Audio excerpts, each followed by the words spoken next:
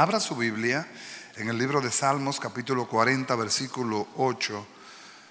Vamos a tratar de entrar en la segunda parte de esta instrucción que tiene que ver con algo más allá del compromiso. El domingo pasado el Señor nos quiso hablar de que muchas veces nuestras vidas entran en, en ese rango que no es malo, al contrario, es muy bueno el decir estoy comprometido con la causa, comprometido con la obra de Dios. Lo malo es que muchas veces el compromiso puede entumecernos y puede hacernos sentir ritual o nos puede llevar a ser ritualistas. Y nuestra ofrenda a Dios tiene que ser siempre una ofrenda agradable. Amén. Que todo lo que hagamos para el Señor lo hagamos con gozo. Venimos para la iglesia con gozo. Servimos con gozo, predicamos con gozo, todo lo hagamos con gozo, porque es para Dios. Amén. En el Salmo 40, versículo 8, el Señor, eh, por boca de David, revela un principio mesiánico y dice, el hacer tu voluntad, Dios mío, me ha agradado y tu ley está en medio de mi corazón. Amén. Este texto lo leímos el domingo pasado y leímos también un texto que está en Hebreos capítulo 10 que lo repite hablando del sentir de Jesús. Jesús, nuestro Señor y Salvador, eh, mesiánicamente hablando, aquí toma la boca de David para hablar del, del deseo de su corazón. El único que pudo complacerlo plenamente es el Señor Jesús, o fue Jesús. Amén. En este, en este texto hay una parte que la vamos a tratar de, explicar esta mañana, esta tarde ya, y vamos a buscar la aplicación también. Dice, el hacer tu voluntad. Si a usted le preguntaran cuál es la voluntad de Dios para su vida, me atrevo a decir que usted podría responder de múltiples maneras, y las múltiples maneras podrían ser todas válidas. ¿Cuál es la voluntad de Dios para su vida? Algunos pueden decir, bueno, que yo sea salvo, es la voluntad de Dios que todos sean salvos. Nadie dice amén. Bueno, la voluntad de Dios es que yo sea sano, sí, también. La voluntad de Dios es que yo le sirva, también. O sea que esa preguntita, ¿cuál es la voluntad de Dios para tu vida? Es tan amplia, que tiene tantas respuestas, que a veces uno se limita o uno queda corto para responderla. Sin embargo, vamos a mirar un poquito, aplicando las diferentes áreas de nuestras vidas, lo que es la voluntad del Señor. Primero, el Señor dice que su voluntad le ha agradado. La voluntad del Señor se puede ver de múltiples maneras, desde la óptica de la interpretación. Por ejemplo, interpretamos la voluntad perfecta de Dios. Se, habla mucho de la voluntad perfecta de Dios. Muchos hermanos dicen, yo quiero andar en la voluntad perfecta de Dios. Otros hablan de la voluntad permisiva de Dios. O sea, hay cosas que Dios la permite, pero que no son su voluntad. Dios la permite. Pero vamos a hablar más que nada de la voluntad soberana de Dios y de la voluntad revelada de Dios por su palabra. Cuando se habla de voluntad soberana, es la voluntad de Dios que uno no la puede explicar. ¿A cuánto le han pasado cosas en Dios que usted no la puede explicar? ¿Nadie? Cosas que usted no sabe cómo explicarla. Cosas que usted no sabe cómo suceden, pero suceden. El pastor Vicente y yo compartíamos en estos días y obviamente eh, cada cual tiene su experiencia de cómo Dios lo añadió a este redil, lo trajo a este redil, lo trajo a esta congregación. Y muchos nacieron aquí, muchos son hijos de hijos de esta casa y gloria al Señor. Son de segunda y tercera generación porque ya hay hijos de hijos, hay hasta nietos ya, ¿verdad?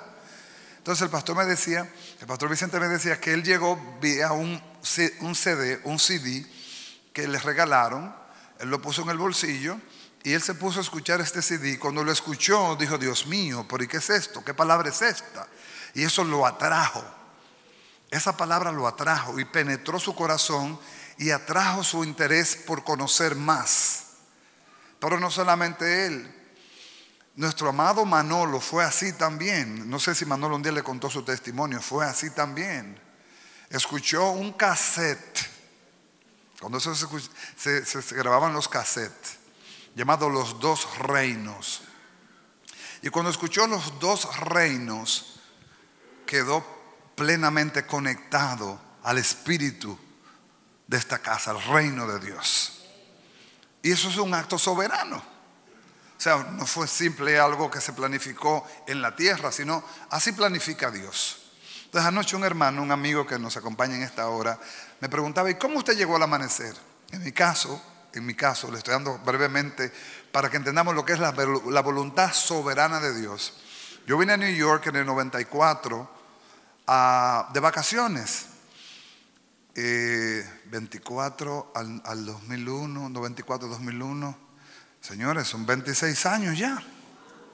Casi 27. No se preocupe, yo vine un niño, fue. La idea es que en ese tiempo estaba Radiovisión Cristiana en su euforia profética. Radiovisión Cristiana estaba en su euforia profética, en ese tiempo, tiempo de gloria. Y en mi corazón había un deseo de ir a Radiovisión a, llevar una contribución o una ofrenda. Y fui, y fui con unos amigos y fui de repente conocí al pastor, al reverendo David Greco en, esa, en, esa, en ese tiempo y hablamos, él ama mucho República Dominicana y empezamos a hablar y me dice, ¿dónde tú te estás quedando? Digo, bueno, en el Bronx, en casa de mi papá. Me dice, mire, estamos celebrando una fiesta en una iglesia en el Bronx. ¿Te gustaría venir? Digo yo, claro que sí. ¿Cuándo? Dice, hoy. ¿A qué hora? Ahora mismo. bueno, pues vámonos. Yo estaba de vacaciones y arrancamos para acá.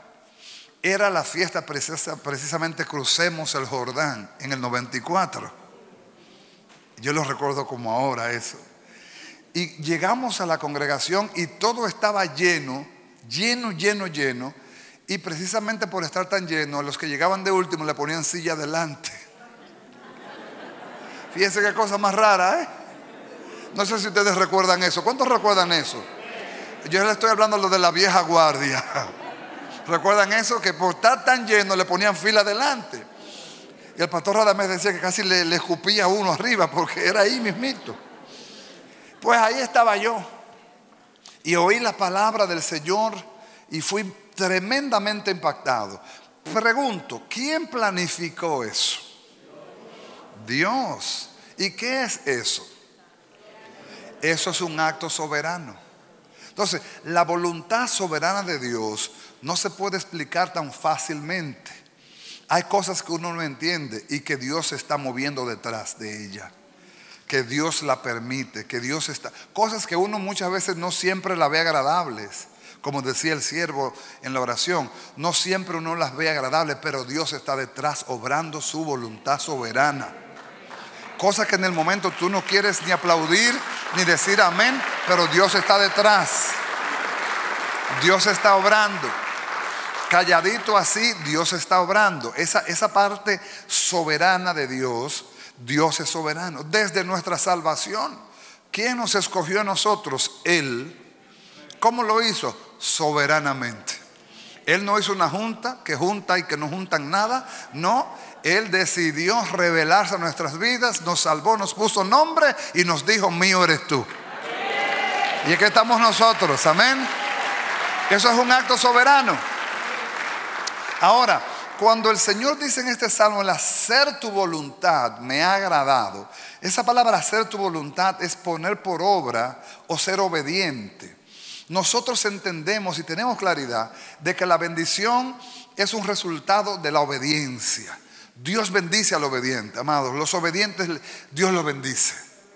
Dios opera para bendecir sobre en base a la obediencia.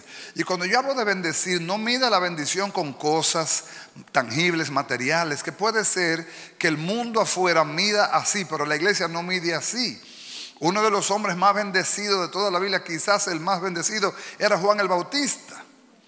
Y Juan el Bautista no tenía una ropa fina, ni tenía el pelo lavado, ni tenía un zapato fino, ni nada. Al contrario, Juan andaba vestido de piel de camello, no se lavaba mucho ni el pelo y comía langostas silvestres. Los que son dominicanos saben lo que es una langosta silvestre. Lo que pasa es que nosotros lo conocemos por otro nombre. Grillo del campo. Grillito era lo que Juan comía. Oiga, qué manjar. Y Jesús dijo, de los nacidos de mujer, no nacerá, otro más grande que este.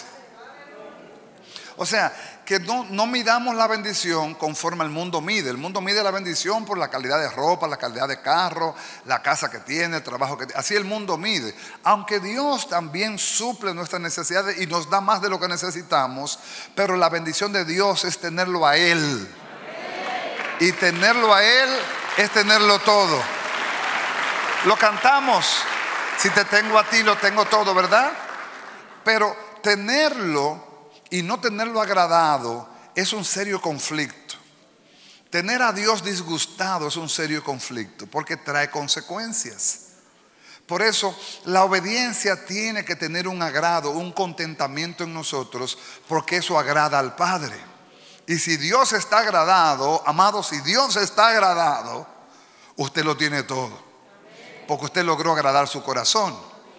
En el Salmo 51, cuando David pecó en aquel momento triste de su vida, David oró, clamó a Dios, se humilló y gimió y le dijo, Dios, vuélveme el gozo de mi salvación ese gozo de salvación, ese gozo de saber que su nombre está inscrito en el libro de la vida, ese gozo de saber que usted es un hijo de Dios legítimo porque tiene el ADN de Dios por el Espíritu Santo. Debe haber un gozo en nosotros por saber que somos hijos de Dios. No un gozo que nos haga arrogante, sino un gozo que nos haga deudores. Amén. No un gozo que nos haga creer que somos mejores que nadie, sino que soy deudor, porque ¿quién soy yo para que Dios haya tenido de mí misericordia? Bueno, Él es soberano, Él quiso tener misericordia de mí. ¿Y qué, qué, le voy a hacer? ¿Recibirla? Pero no solamente recibirla, sino apreciarla también, valorarla también. Y Dios en su grande misericordia no se limitó a salvarme, sino que me extendió su mano y me extendió más y me llamó al servicio también. Por eso nos gozamos en el gozo de nuestra salvación, pero nos gozamos en el servicio. ¿Por qué? Porque la obediencia produce gozo también. ¿O acaso usted nos recuerda cuando Jesús comisionó a aquellos 70 que él envió? Y los envió y les empoderó con autoridad para echar fuera demonios, para sanar enfermos, para ir y predicar el, Evangelio a todo lugar donde ellos fueran. Y ellos exactamente hicieron lo que Él les dijo, vayan, liberten a los endemoniados, sanen a los enfermos, prediquen el reino de Dios. Ellos lo hicieron. Y cuando vinieron, vinieron todos, dice la Biblia, que vinieron gozosos. Señor, los demonios se sujetaban. Los enfermos serán sanados. Y Jesús les dijo, miren, que eso no sea vuestro mayor gozo. Que su gozo sea que sus nombres están inscritos en el libro de la vida. Amén. Jesús le quiso decir, por encima del gozo que hay en la obediencia, debe haber un gozo en nuestros corazones de saber que somos hijos de Dios. Amén. Entonces, el hacer su voluntad es poner por obra su mandamiento, es ser obediente. Amén. Entonces, en la Biblia revelan varios textos de lo que tiene que ver con la voluntad de Dios revelada en la Biblia. Si la revelación está en la Biblia, necesita entonces una aplicación. Lo, voy a compartir de esta manera. Trataré de ser lo más coherente en la instrucción. Miren, lo primero que viene es, la información. Alguien me enseña y yo aprendo. Pero de lo que yo aprendo, ese aprendizaje, esa información se, se convierte en revelación cuando no es solamente letra, sino que es espíritu. Porque si es solamente letra, es letra. Y la letra mata, el espíritu vivifica. La letra envanece, la letra nos llena los egos, la letra nos hace sentir superiores a los demás, el espíritu nos hace deudores. Amén. Entonces viene información, después de información viene revelación. Después de revelación yo puedo dar, tener, tener en mí la impartición, puedo impartir. ¿Por qué? Porque usted imparte lo que usted vive, usted da lo que usted sabe.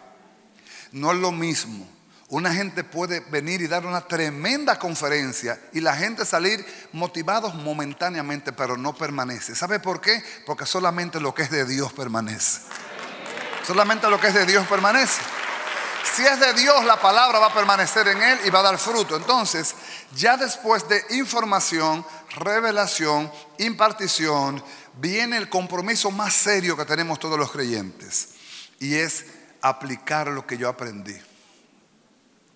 Aplicar lo que yo aprendí. Y esa aplicación es lo que define nuestra, nuestra vida delante de los hombres. Si podemos vivir lo que sabemos. Si podemos aplicar lo que sabemos. Por ejemplo, imagínese usted que usted tenga algún problemita de peso y usted quisiera rebajar unas cuantas libras y usted se va a un endocrinólogo y el endocrinólogo pesa 450 libras. ¿Usted le pondría mucha atención a lo que el endocrinólogo le va a decir? ¿Por qué no?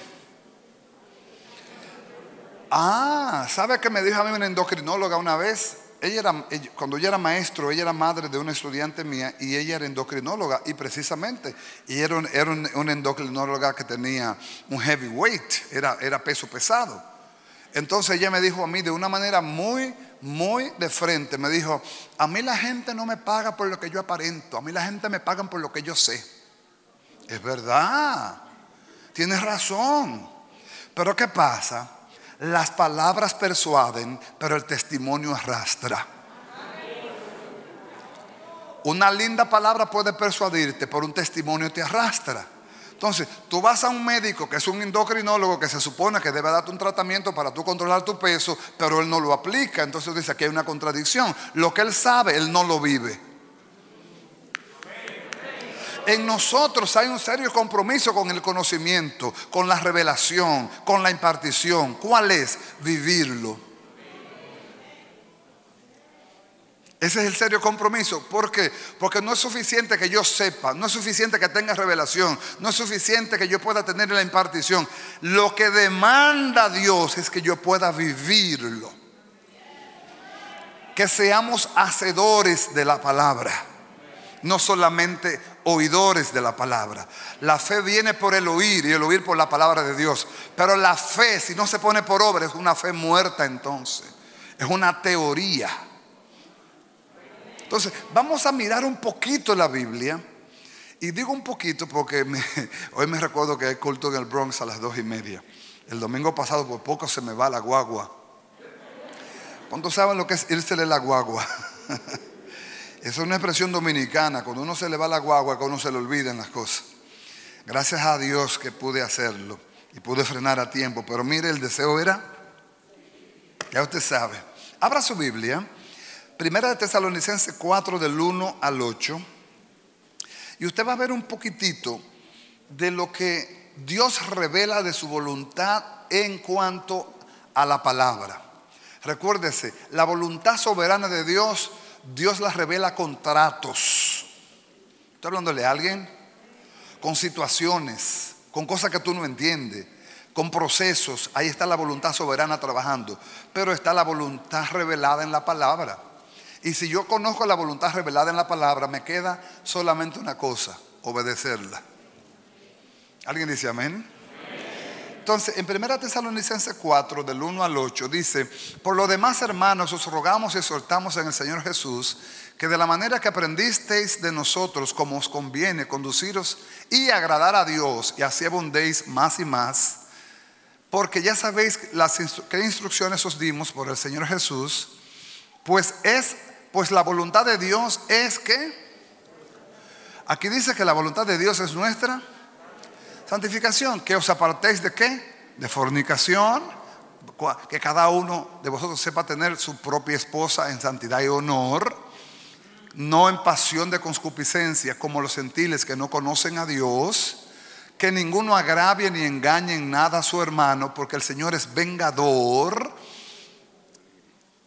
de todo esto, como ya os hemos dicho y testificado. Pues no nos ha llamado Dios a inmundicia, sino a santificación. Versículo 8. Así que el que desecha esto no desecha a hombre, sino a Dios, que también nos dio su Espíritu Santo. Si a usted le preguntaran cuál es la voluntad de Dios para su vida y usted dice la voluntad de Dios para mí es mi santificación, está respondiendo correctamente. Correctamente está respondiendo. Dios quiere que seamos santos porque Él es santo. Dicho sea de paso, ya por estar en Cristo para con el Padre somos posicionalmente santos. Pero nuestra santificación crece en la medida que obedecemos el mandamiento. Crecemos en santificación porque nos vamos apartando, nos vamos purificando. Nuestras almas se van purificando por la obediencia a la palabra, dice el apóstol Pedro. Amén, mis amados. Ahora, si sabemos entonces que la obediencia trae bendición, ¿por qué se hace tan difícil obedecer? ¿Por qué es tan difícil obedecer? Bueno, explicándolo de una manera natural o de una manera sencilla, es porque encontramos una ley en esta carne que se opone, que se opone a Dios. Que se opone a Dios. Hay una ley en esta carne de pecado que se opone a Dios. Pero, ¿cuál va a prevalecer? ¿La carne o el espíritu? Va a prevalecer el que usted alimente más. Si usted se alimenta del Espíritu, si usted mantiene su comunión con la, palabra, con la palabra, si usted se mantiene orando, si se mantiene en la congregación, usted será fortalecido espiritualmente para vencer las obras de la carne. Y va, y va a poder prevalecer en el nombre de Jesús. Amén, mis amados. Ahora bien, entrando en la parte que nos toca, el obedecerle a Dios no debe ser una obediencia por compromiso, sino porque es un deleite. Jesús sabía cuál era la voluntad de Dios desde que Él fue inoculado en la tierra. Desde que Jesús vino al mundo, Él sabía cuál era su propósito. Y no se crea que saber lo que Jesús sabía, lo que Jesús iba a padecer era tan agradable. Aún cuando llegó el momento de ir, de ir al Hexemaní, no fue tan fácil para el Señor para ir, a ir, ir al Hexemaní y clamar y decirle, Señor, si es posible, pasa de mí esta copa. Y dice que aún tuvo una trasvasación, dice que aún era tan fuerte su agonía que, que sudaba gotas de sangre. Era fuerte el momento, pero en él había, había una determinación de obedecer al Padre por encima de la aflicción. ¿O no lo hemos leído en Hebreos capítulo 12? Bueno, si no lo han leído, vamos a leerlo porque estamos aquí para eso. Hebreos capítulo 12. Hebreos capítulo 12. Hebreos capítulo 12. Abra conmigo la Biblia.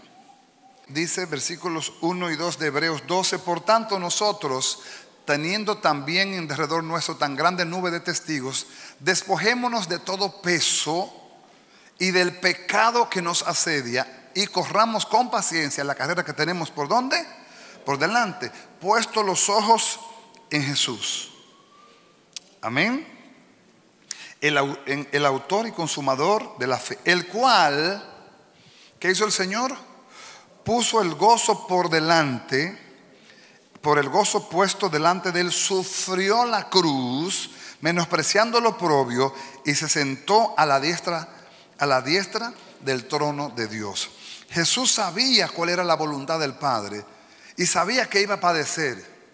Por eso usted ve que cuando le habla a los discípulos de que era necesario que él sea entregado a los alguaciles, que él sea entregado al Sanedrín y que él fuera vituperado y que él fuera azotado y que después fuera crucificado, humanamente hablando, Pedro decía, yo no puedo entender esto. Entonces, si tú eres el redentor, si tú eres el Mesías, ¿cómo tú puedes entonces tener que padecer y aún morir por nosotros? Pedro lo, llama Padre, Señor, que eso nunca te acontezca. Pedro no entendía la, soberanía de Dios en ese momento.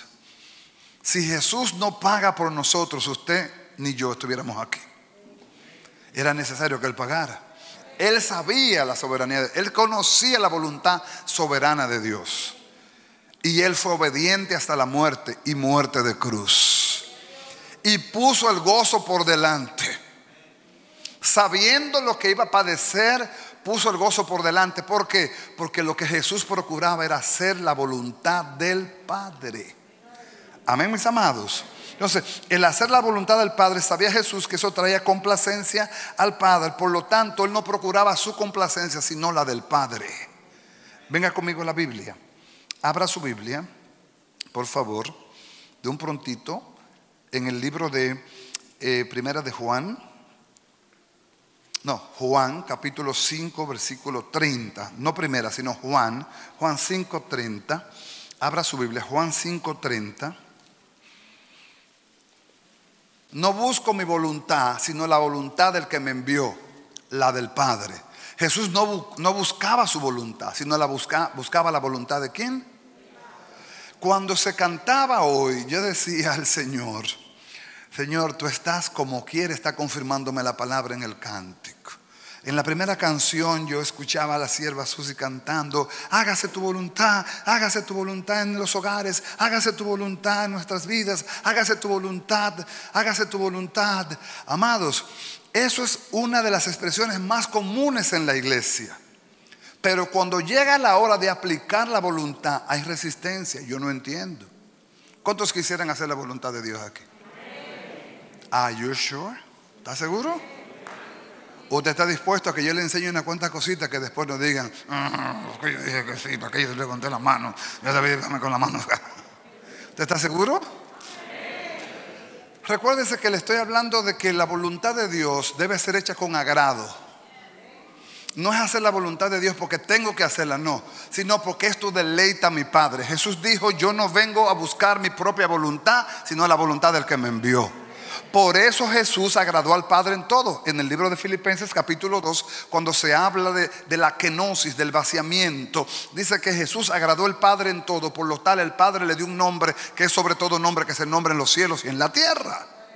Por eso cuando Jesús se bautiza, el cielo se abre y se, y se manifiesta la Trinidad. Para los que no creen en la Trinidad, se manifiesta la Trinidad ahí mismito. El Espíritu Santo desciende en forma corporal como de paloma sobre la cabeza de Jesús. Y, se oye una voz en el cielo que dice, este es mi Hijo amado, en quien yo tengo complacencia. Ahí estaba Padre, Hijo y Espíritu Santo juntos. Aleluya.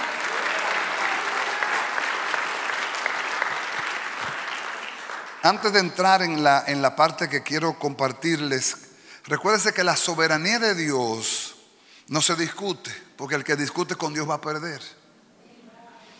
Y la revelación de Dios tampoco se discute porque va a perder como quiera.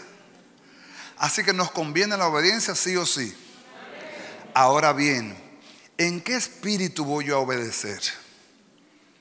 Porque ese es el problema que hemos tenido que confrontar en este último tiempo.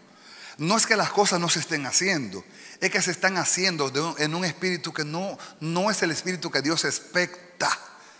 Dios expecta que tengamos gozo cuando le sirvamos. Gozo cuando cantamos, gozo cuando servimos, gozo cuando venimos a la casa de Dios, porque es para Dios. Entonces, tiene que haber en nosotros un deleite. Por eso en el Salmo 48 dice, el hacer tu voluntad me ha agradado. Es un deleite hacer tu voluntad. Si yo no sé cuál es la voluntad de Dios, bueno, pues eso es otra cosa. Pero si yo sé cuál es la voluntad de Dios, yo debo hacerla con gozo, porque ya yo sé cuál es la voluntad de Dios. No sé si alguna vez a usted le ha tocado hacerle un regalo a alguien que usted no lo conoce muy bien y usted se tiene que documentar y preguntarle a alguien, oye, tengo que irle un regalo, hacerle un regalo a la hermana tal, pero yo no la conozco bien, tú que la conoces mejor, ¿qué tú crees que yo le puedo regalar? ¿No le ha pasado eso? ¿Le ha pasado eso alguna vez? Comparar un regalo como para una gente que usted no conoce bien. Pero miren, si usted no sabe cómo agradar al Padre, pregúntale al Espíritu Santo, Él le va a decir. Pregúntale al Espíritu Santo, Él le va, él le va a poner en claro el asunto. Y antes de yo entrar y pedir eh, que usted me ayude, ¿usted está dispuesto a hacer la voluntad de Dios con agrado? ¿Seguro? No me apedreen después. Porque la aplicación de esta palabra es sencilla, pero demanda. Entonces, no siempre uno siente gozo cuando le demandan ciertas cositas. ¿Usted está listo? Bajó el amén. Vamos a mirarlo desde la óptica de la soberanía de Dios. Ahí yo no me puedo discutir porque Dios me está guiando a esto o Dios lo permitió para lograr algo en mí. Y me gozo en eso. Amén. Pero la voluntad de Dios revelada por la palabra también requiere obediencia. Pero mi obediencia no puede ser una obediencia como si me estuvieran empujando a obedecer, sino por cuanto yo conozco la voluntad de Dios, la voy a hacer con gozo entonces. Porque esta es la voluntad de Dios. Are you ready? Pastor, pero tanta vuelta te rice.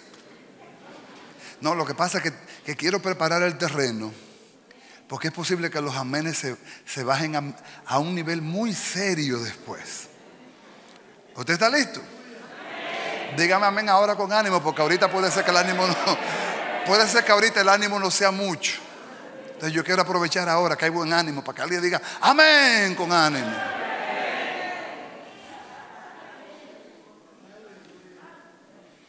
Abra su Biblia.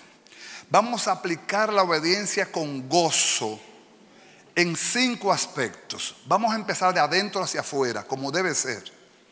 Empezamos en el, libro de Primera de Pedro.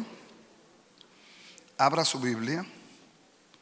Primera de Pedro capítulo 3 versículo del 1 al 7. Yo lo voy a empezar al revés porque no quisiera ganarme en problema con las mujeres en esta mañana tan temprano. Me voy a, me voy me voy a embrujar con los hombres primero. Me voy a embrujar con los hombres primero. Y cuando digo que me voy a emburujar, ¿cuándo entienden esa palabra de emburujarse? Los que son dominicanos saben lo que es emburujarse. Me voy a meter en un lío con los hombres primero. Y después con las mujeres y yo nos ponemos de acuerdo. Versículo 7. Y lo vamos a leer del 7 hacia el 1. Empezamos con el 7.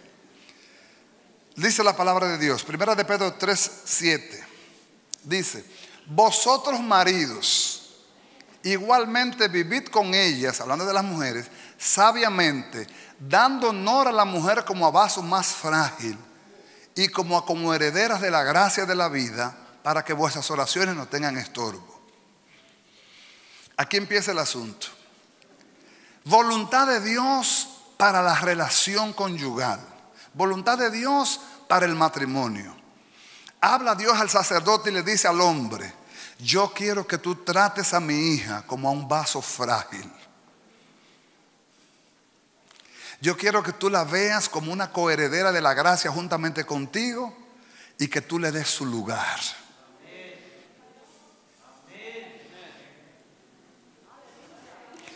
Yo le dije que los amenes iban a bajar. No soy profeta, pero sé de qué estoy hablando. Yo le dije que los amenes iban a bajar. Y el apóstol Pedro dice algo aquí que pocos hombres lo leen con, con revelación. Pedro dice que le demos honor a la mujer como a vaso frágil.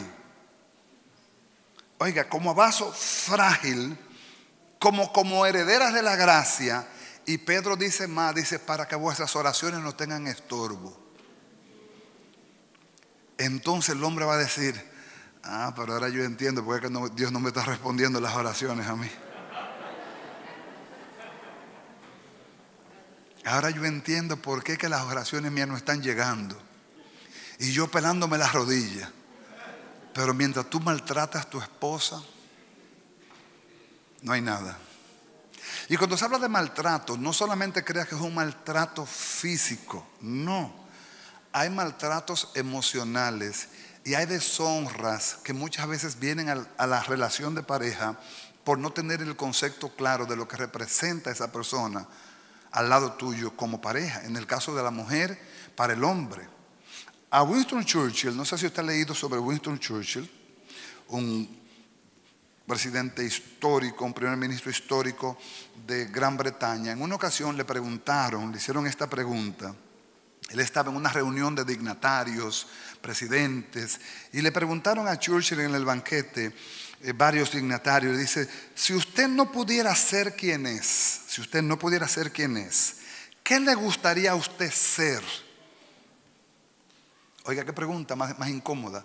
Si usted no pudiera ser quien es usted ahora, ¿qué le gustaría a usted ser? Él cayó por un momento y dijo una respuesta bien sencilla, pero bien profunda. Dijo, si yo no pudiera ser quien yo soy, yo desearía ser, tomó la mano de su esposa, quien se case con ella otra vez.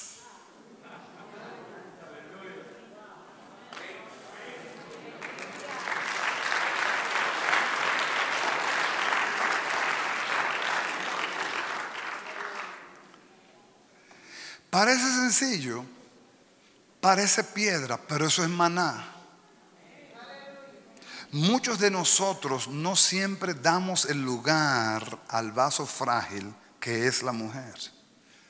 Y no siempre aplicamos esto con gozo. Si su mujer se le ha vuelto a usted una carga o un compromiso, pídele a Dios que se la vuelva a ver, que se la vuelva a poner como cuando usted se enamoró de ella hace 40 años atrás. Pídele a Dios que se la ponga así. Señor, vuélveme al primer amor. Vuélveme, a verla como yo la veía cuando éramos niños o jovencitos, donde no había arruga ni empella ni chichos. ¿Cuántos saben que hay diferencia entre, entre empellas y chichos? ¿Cuántos saben que hay diferencia? ¿No, ¿No, saben la diferencia? A los hombres le salen empellas y a las mujeres le salen chichos.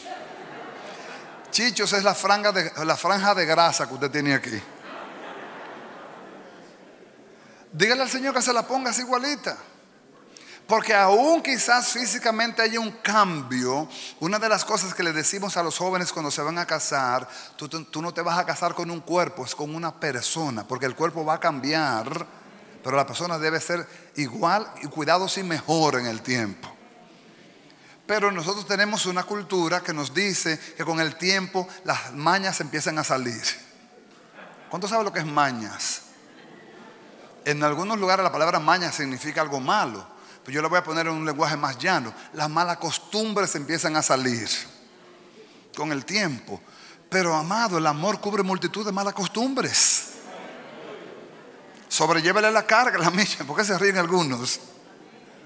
Entonces, a nosotros los hombres nos empieza Dios a decir, la obediencia es la clave de la bendición. Amén. Pero tu obediencia en cuanto a tu esposa tiene que ser deleitosa. Si tú cuando joven le abrías la puerta del carro, ahora ábresela también. Pero no arranque el carro sin que ella se monte. Espera que ella se monte primero.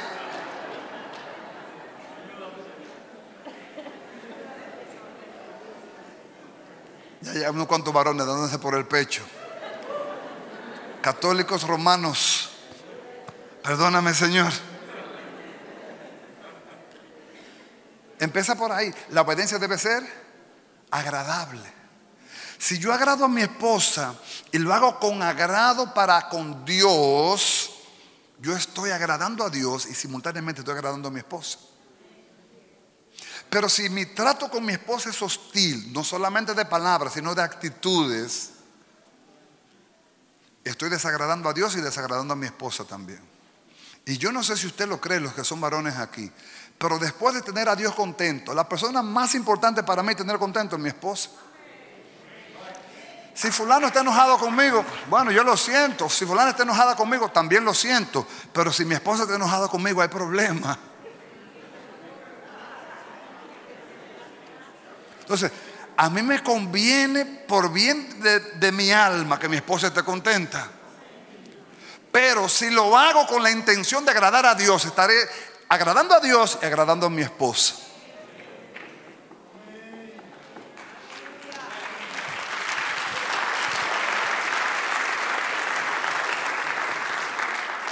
Recuérdese, información es una cosa, revelación es otra cosa, impartición es otra cosa, aplicación es otra cosa. Esto es para que usted lo aplique. Esto es para que usted no diga, ay, ese pastor, ¿por qué lo trajeron ese pastor a hablar de eso?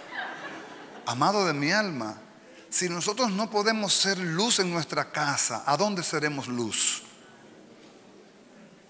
Si nosotros no podemos ser testimonio a nuestras esposas, ¿a, quién vamos a hacer testimonio? Empecemos por casa. Por eso le decía que es posible que los amenes bajen un poquito. Los hombres en cierto modo somos un poquito más como toscos en ese punto, pero cuando estábamos enamorados, no hay cosa más linda que enamorada que un hombre. Un hombre enamorado siempre tiene perfume puesto, siempre tiene un chicle en la boca, siempre tiene un cuadre, siempre anda bien planchadito. Eso es lo más hermoso que hay. Un hombre enamorado siempre tiene una ropa planchadita, un chicle en la boca, siempre está bien peinado, el perfume, y tú sabes, porque está enamorado. Ahora, si el hombre dejó de andar bien peinadito y en vez de tener un chicle en la boca, lo que le huele la boca es a pólvora, ya el problema. ¿Estamos acá? Pero no se queda la Biblia ahí. La Biblia sube un poquito. ¿Quieren subir un poquito? La mujer dice, ay no, pastor, ¿qué decía ahí? Ese versículo está bueno. Acábelo ahí, pastor. Dele duro ahí con ese. No, pastor, los otros versículos no los lea. No nos conviene. Es que no estamos en conveniencia. Lo que queremos es agradar a Dios. Hicimos una pregunta. ¿Queremos agradar a Dios, sí o no? Ahora empezamos el versículo 1. Mire el versículo 1. Dice, asimismo vosotros, vosotras mujeres, está sujetas a vuestros maridos. Ay, ay, ay, ay, ay, ay. Ay, ay, ay, ay, ay, ay. Si pudieran borrar ese versículo de la Biblia, lo borraran. Pero todo es por una mala interpretación de lo que es la sujeción en el original la palabra sujeción es la palabra upotazo, que significa ponerse bajo liderazgo, bajo autoridad, bajo el orden establecido por Dios. Es aplicable en la milicia, es aplicable en el, en el gobierno, es aplicable en el hogar. Dios estableció un orden para que todo funcione como Dios lo diseñó y estableció que el hombre sea cabeza de hogar y estableció que la mujer se sujete a ese líder, no que, no que el hombre la avasalle ni la maltrate, eso no es la palabra. Esa sujeción al varón debe ser una sujeción por amor. Se fueron los amenes, yo se lo dije que se iban a ir los amenes.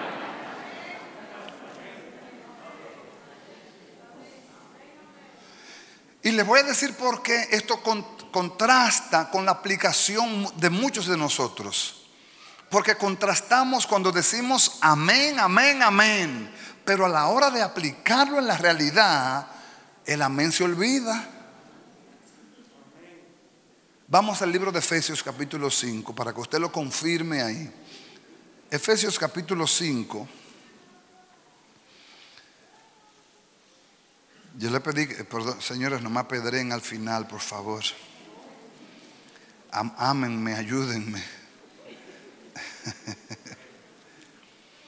Del versículo 21 en adelante, dice, someteos, eh, Efesios capítulo 5, someteos unos a otros en el temor de Dios. Las casadas estén sujetas a sus propios maridos como al Señor esto es muy serio. Es que una mujer que se somete a Dios debe someterse a su marido también. Debe andar en orden. Y debe respetar a su marido también. Pedro dice algo más fuerte que lo vamos a leer en breve. Dice, así como Cristo es cabeza de la iglesia, la cual es su cuerpo y Él es su salvador, así que como la iglesia está sujeta a Cristo, así también las casadas lo estén a sus maridos. Maridos, amad a vuestras esposas, así como Cristo amó la iglesia y se entregó a sí mismo por ella para santificarla, habiéndola purificado en el lavamiento del agua por la palabra, a fin de presentársela a sí mismo una iglesia gloriosa, que no tuviese mancha ni arruga, ni cosas semejantes, sino que fuese santa y sin mancha. Versículo 28. Así también los maridos deben amar a sus mujeres, a sus mujeres como a sus propios cuerpos. El que ama a su mujer, a sí mismo se ama, porque nadie aborreció jamás a su propia carne, sino que la sustenta y la cuida, como también Cristo a la iglesia. Hago una pregunta y me separo un poco del púlpito. ¿Qué es más demandante? ¿Amar a la mujer o someterse al marido? Analícelo bíblicamente. ¿Sobre quién pesa más la demanda? Sobre el marido pesa más. Porque la Biblia dice aquí que el marido debe amar a su mujer como Cristo amó a la iglesia. ¿Cómo, se, ¿Cómo amó Cristo a la iglesia? La amó tanto que se entregó por ella.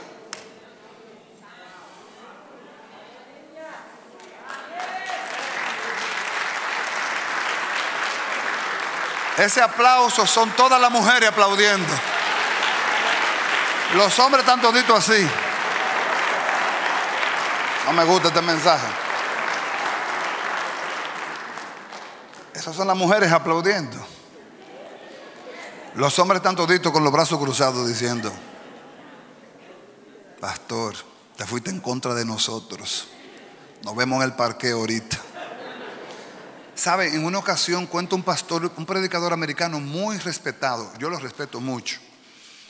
Y él, él, hizo una anécdota de que si usted va en, un bote, en, en una yola, un botecito, un barquito, y se ve rodeado de tiburones, y va usted con su familia, usted y sus tres niños, ¿cuál debe usted salvar primero? Pregunta incómoda. Y casi todo el mundo dijo, oh, hay que salvar los niños. Y él dijo, equivocado. La primera que el hombre debe salvar es a su esposa. Porque los dos son una sola carne ya. Y es donde muchos matrimonios los hijos separan a los padres. Porque los padres no saben que son uno. Los hijos no pueden venir a separar a los padres. Los padres tienen que estar preparados para cuando los hijos vengan, vean uno en ellos. Vean uno, son uno. Mi papá y mi mamá son uno. Cualquiera en el, sentimiento humano dice, no hay que salvar a los niños. Él dice, no, es que bíblicamente los niños no son una sola carne contigo. La única que es una sola carne contigo es tu esposa y viceversa. El único que es una sola, una, sola carne contigo es tu esposo. Los hijos no, los hijos salieron de ti y se van. Tu esposa queda contigo hasta que uno de los dos se vaya.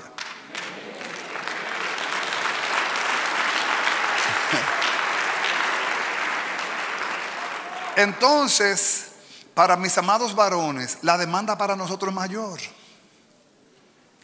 es que si alguien tiene que sacrificarse debe ser el hombre, más que la mujer. ¿Por qué? Porque Cristo se sacrificó por la iglesia, se entregó a sí mismo por la iglesia, se dio a sí mismo por la iglesia. Ahora le pide a la iglesia una sola cosita, sujétate. Dice, ese es el punto, pastor, como que sujétate, como que no me gusta eso sujétate. Sujetarse, ponte bajo autoridad, ponte bajo su liderazgo, ponte bajo su dirección, porque para eso Dios estableció el orden. Pastores, que si usted conociera a mi marido, yo no lo tengo que conocer, Dios lo conoce. Y te dije hace un ratito que la voluntad de Dios tiene dos maneras de enfocarse, la voluntad soberana de Dios y la voluntad revelada en su palabra. Si tú no, vas, no, no lo ves hoy en la voluntad revelada por su palabra, entiende entonces la voluntad soberana. ¿Qué significa eso? Explíquese, pastor, porque no lo entiendo. Bueno, si tu, si tu esposo es fuerte, es tosco, es rudo, es roca izquierda, es sangrón, es lo que sea, voluntad soberana, Dios te dio ese, ese, ese es el regalo de Dios para ti.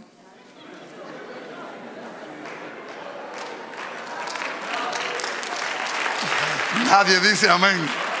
Nadie dice amén. Y, viceversa, si Dios te dio una mujer que es dificilísima, hermano, paga el precio.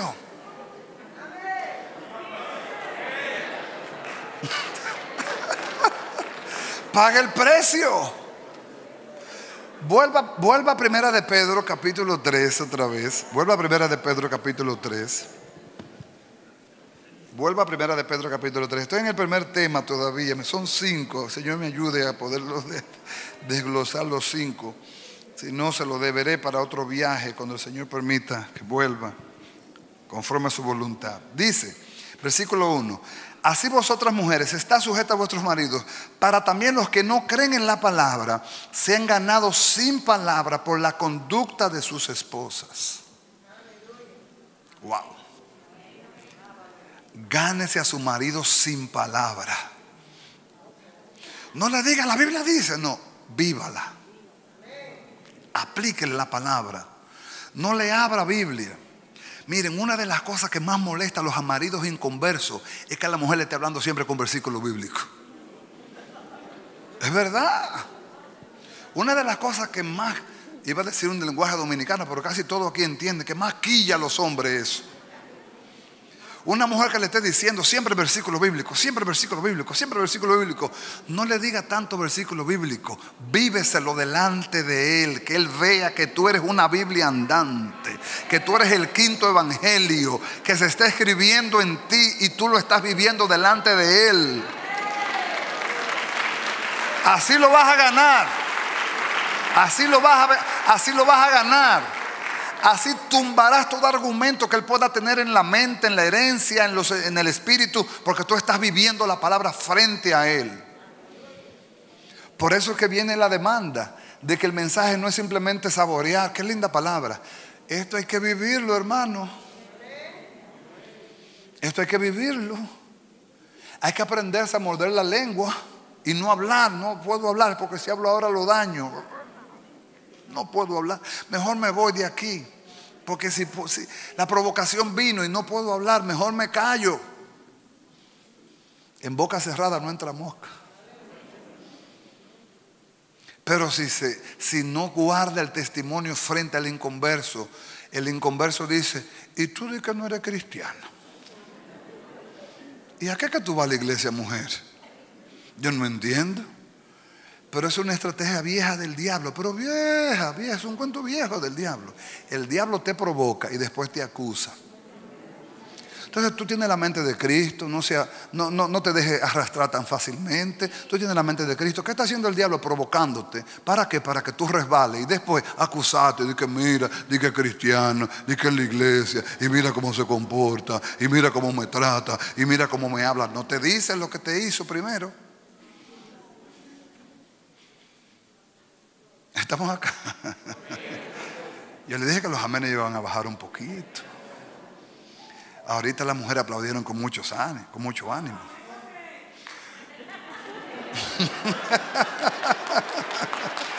amén, amén. Gloria a Dios. Los hombres son los que están medio de brazo cruzado mirándome a mí. Dicen, este tema no debieron tocarlo hoy. Amados, hoy es el día de la aplicación gloriosa del mensaje. Hoy es el día de llegar primero y abrir el carro. Pase, señorita, entre. Cierra la puerta. ¿A dónde quiere usted que la lleve hoy? ¿Dónde desea almorzar? ¿Qué desea mi princesa, mi reina? La mujer más linda de este mundo. Señores, miren, hemos llegado a un, extremo tal, y las mujeres saben lo que yo les voy a decir. Yo brego mucho como, bueno, como pastor, yo brego más con, pareja que otra cosa. Mi, pastorado es más con pareja que otra cosa. En la iglesia hay pastores que atienden situaciones, tienen más pareja que otra cosa. Cuando un hombre se pone muy cariñoso, la mujer dice,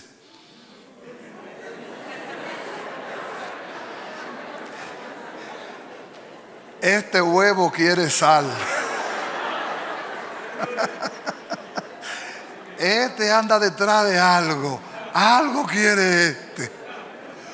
Pero si usted es cariñoso todo el tiempo, es diferente. O la mayor parte del tiempo.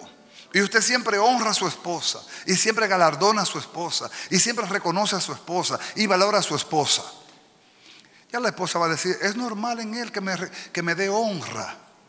Por esto el mensaje no es de un día, es un mensaje desde ahora hasta que Cristo venga. Hay que honrar a las esposas como vaso frágil.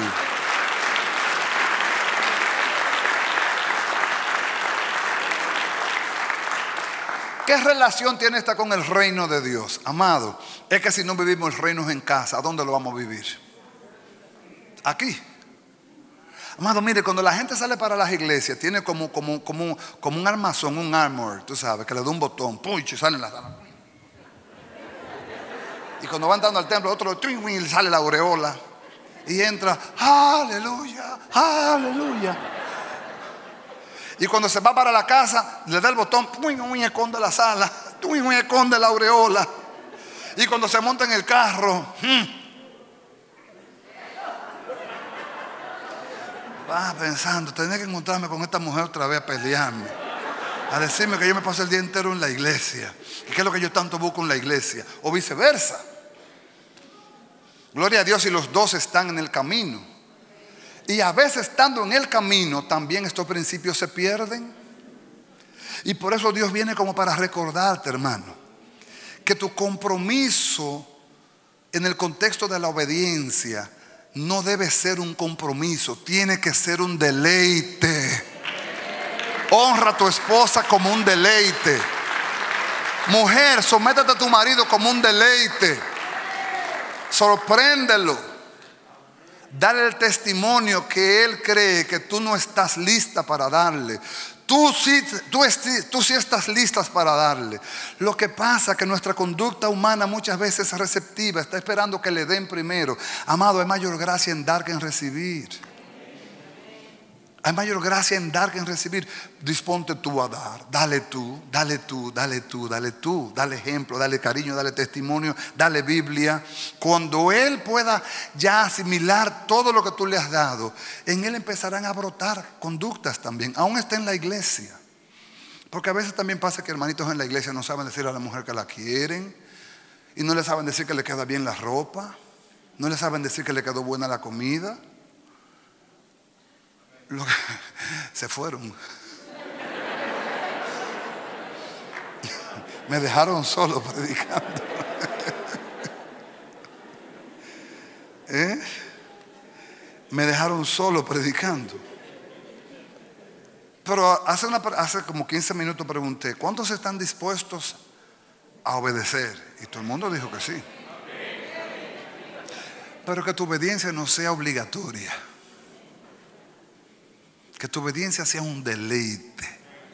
Oye, honrando a mi esposa, yo estoy honrando a Dios. Varón, oiga, honrando a mi esposa, yo estoy honrando a Dios. Dándole el trato que mi esposa merece como persona, como compañera, como coheredera de la gracia, como madre de mis hijos, como mi compañera de vida. Estoy honrando al Dios de mi salvación. Óigame, hay una gran bendición si podemos aplicarlo tanto el hombre para la mujer y la mujer para el hombre. La mujer sujetándose al liderazgo del marido. No significa que la mujer no piense, al contrario, la mujer puede aportarle al liderazgo del marido ideas, soluciones, estrategias, planes, proyectos. Y la mujer es lo que Dios ha dicho que es, una ayuda idónea. Pero no la podemos invalidar.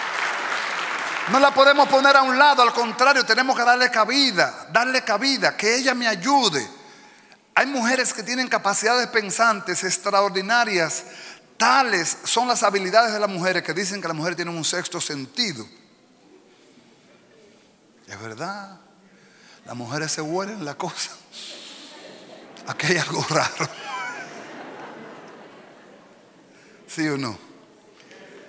Entonces, la obediencia le facilita a Dios cumplir el propósito. Empezamos de adentro hacia afuera. ¿Alguien dice amén? Bueno, ya los hombres están tranquilos, no hay problema, estamos perdonados. No me perdonaron.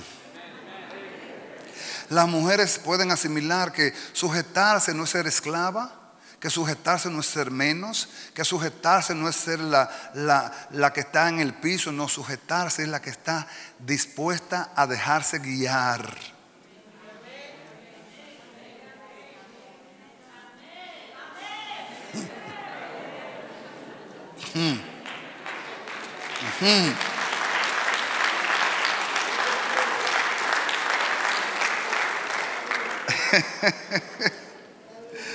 Bueno, toqué un puntito. ¿Vamos bien en este puntito? Es un deleite. ¿Cuánto tiene su esposa cerca aquí? Dígale, dígale, mi amor, es un deleite, es un deleite compartir contigo mi vida. Dígaselo.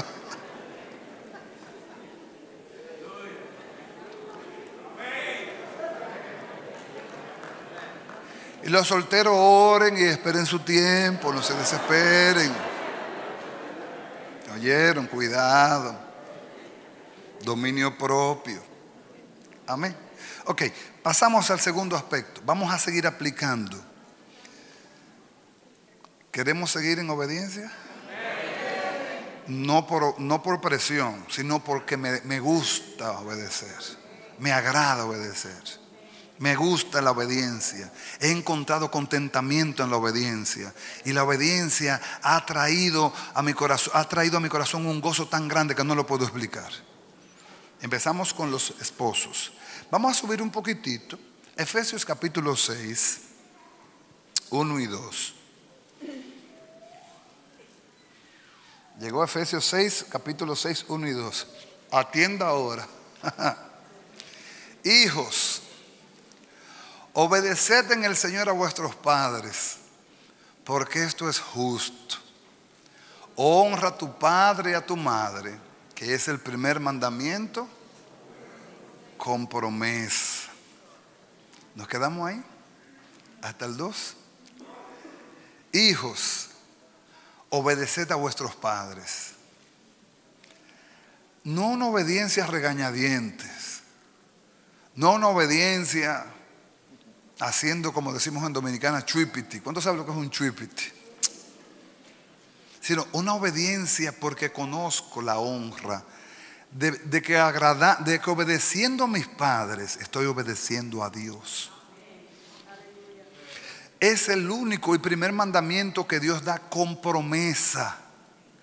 El hijo que honra padre y madre, Dios le da promesa de larga vida sobre la tierra. Sin embargo, hay un, hay un versículo en Proverbios, que a mí no me gusta ni leerlo, pero se lo voy a citar, que dice, el hijo que maldijere a su padre o a su madre, se le apagará su lámpara.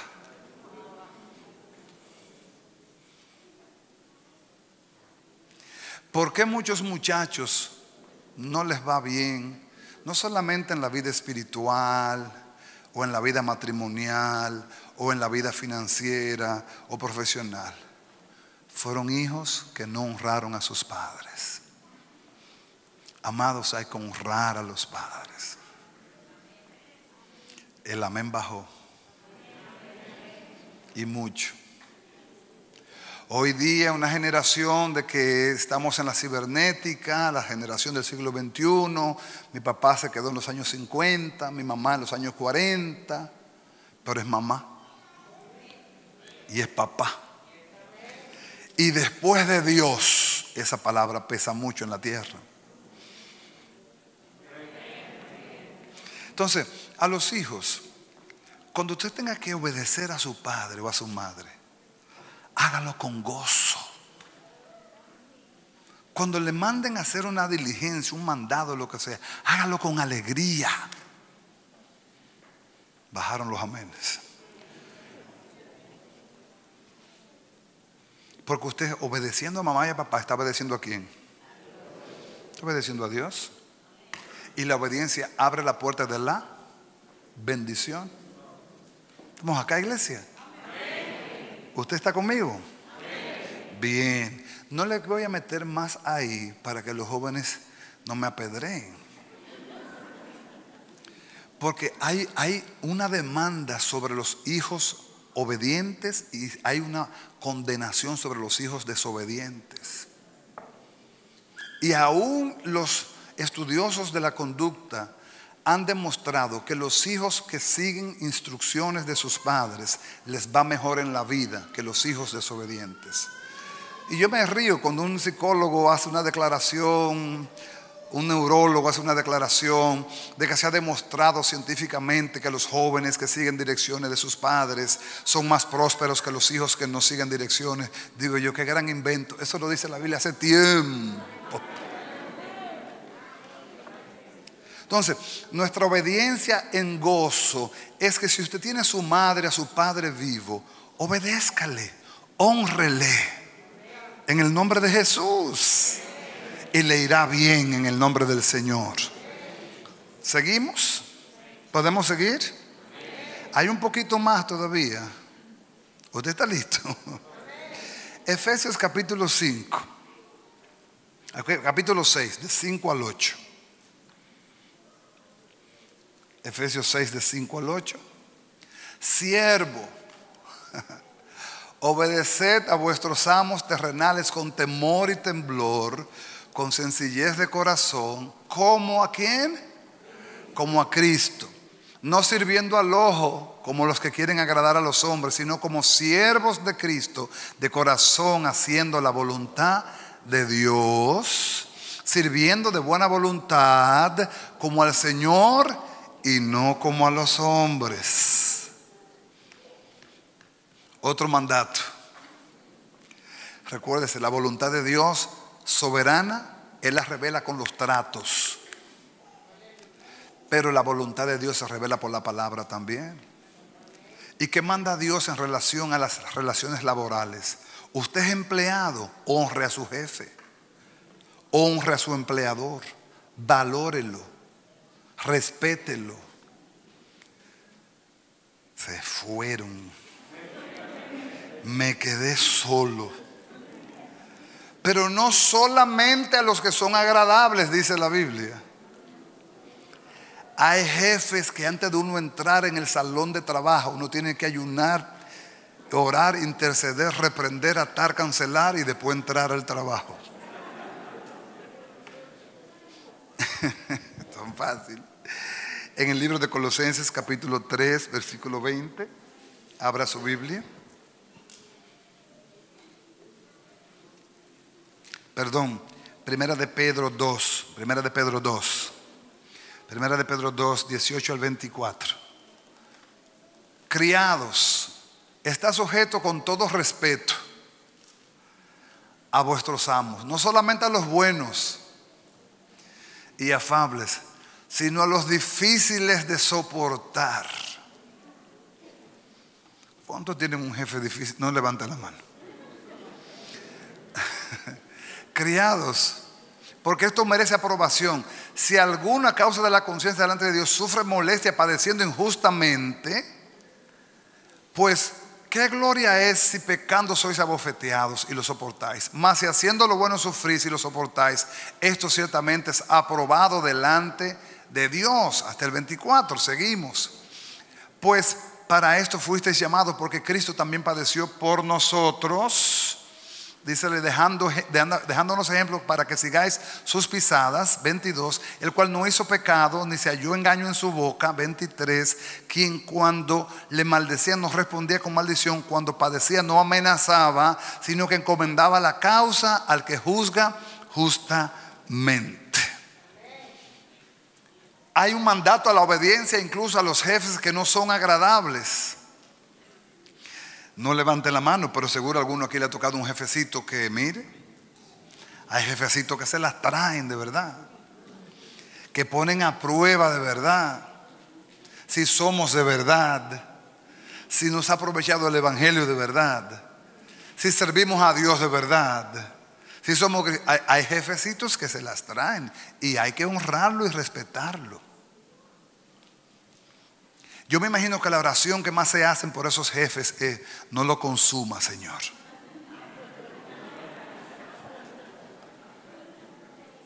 No lo consuma, Señor. Pero esos jefes la Biblia manda a honrarlo, respetarlo, valorarlo, orar por ellos, porque ellos suplen el empleo donde Dios suple nuestra necesidad para sustentar nuestras vidas. Son difíciles. ¿Quién sabe qué tipo de vida han tenido esa gente? ¿Por qué son así? Lo más probable necesitan lo que ya tú tienes y por causa de su temperamento tú no has podido lograrlo. Pero ora por ellos, que el día del Señor les llegará a ellos también y se les revelará el Señor. En el nombre de Jesús.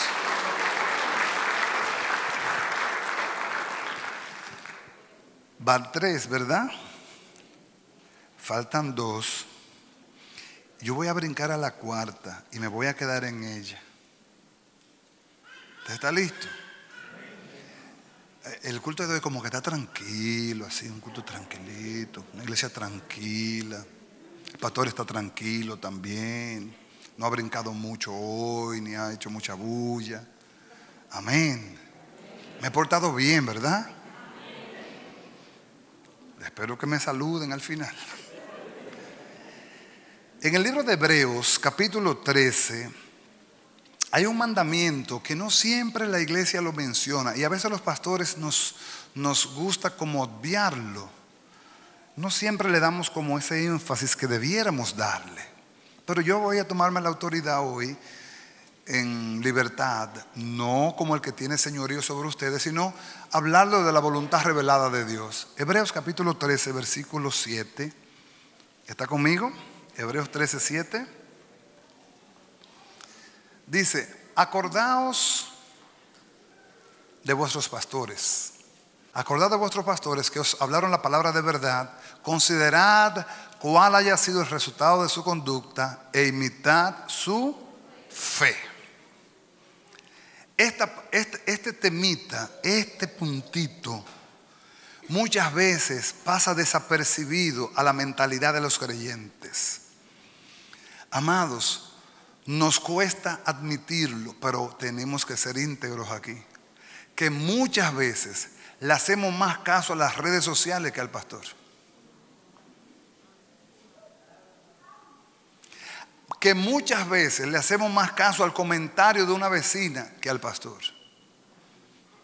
No estoy hablando de esta casa, estoy hablando de la iglesia. El considerar al pastor el respetar su honra sacerdotal, el valorar su consejo, no siempre como que lo vemos comúnmente en la iglesia. Oímos el sermón, nos gustó, nos apeló, nos llenó, fue bueno, pero no siempre hacemos de esa palabra que se nos dio un estilo de vida que nos comprometa a vivirlo no siempre le damos la cabida que debiéramos darle al consejo pastoral y muchas veces por eso también nos va mal. Le creemos más a la prensa que al pastor. Yo no puedo creer eso. Los pastores tenemos el compromiso de velar por las almas, de cuidar las almas, de desvelarnos por las almas y también de exhortar las almas para bien no estamos detrás de otra cosa, sino de que las almas que Dios nos encomendó cuidarles sean instruidas, sean alimentadas, alineadas y que el propósito de Dios se pueda cumplir en ellas. Pero amados, oímos por aquí, como decimos, y se nos sale, por aquí. En el verso 17 de Hebreos 13 dice, Hebreos 13, 17 dice, obedeced a vuestros pastores y sujetaos a ellos. Ay, papá. ¿Qué significa la palabra sujetaos? Yo se la dije hace un minutito. Vamos a ver lo que tienen buena memoria, lo que toman anotaciones. Es la misma palabra. Sujetaos es la misma palabra. Upotazo. Póngase bajo la autoridad de su pastor. Dice, porque ellos velan por vuestras almas como quienes han de dar cuenta para que lo hagan con alegría y no quejándose, porque esto no os es provechoso. Las dos primeras palabras, obedece a vuestros pastores. Ha sido y sigue siendo la gran batalla del ministerio. Oiga, tener un predicador es una cosa y tener un pastor es otra cosa. Se parecen, pero no es lo mismo. El predicador te da la palabra, el, pastor te da su vida. Te da su tiempo, te da su sueño, te da su consejo, te da su experiencia. Te da todo lo que él ha recibido de Dios para el bien de tu alma. Pero en nosotros, en muchas ocasiones se nos ha demostrado que tenemos más valor por la predicación que por el pastor. Los pastores no somos simplemente aquellos que traemos el mensaje. Somos aquellos que nos desvelamos para que el propósito de Dios se cumpla en medio de su pueblo. Y si tenemos la honra de tener pastores, valorémoslo, honrémoslo. Pero la honra no es como los hombres juzgan de una camisa, de un carro, de un reloj, de unos zapatos. La honra es de valorar la enseñanza que te ha dado porque te ha dado su vida. Te ha dado su vida. Valóralo. Cuídalo, facilítale el propósito para que lo haga con gozo, para que no se esté quejando, para que no esté quizás sobrecargado en cosas que no debiera estar, porque ya hay niveles de honra y de madurez en la casa como para también ser ayuda al propósito. Cuando, cuando el apóstol dice obedece a vuestros pastores y sujetaos a ellos porque ellos velan por vuestras almas. Con todo respeto a los ministerios que hay delegados como los cinco grandes ministerios, el apóstol, el profeta, el maestro, el, evangelista y el pastor. Dice que el pastor dará cuenta. Lo que significa que el pastor se preocupa por ti para que cuando él tenga que rendir cuenta de ti, pueda decir que tú fuiste una oveja que te sujetaste, que aprendiste y que pusiste la obra, el mandamiento de Dios. Pero sería muy triste para un pastor tener que rendir cuenta y decir, Señor, yo hice todo lo que me mandaste hacer, todo lo que me pediste lo hice, lo, entregué todo, di mi alma en el púlpito, dejé el pellejo en el púlpito. Pero pocos valoraron ese pellejo, pocos valoraron ese desvelo.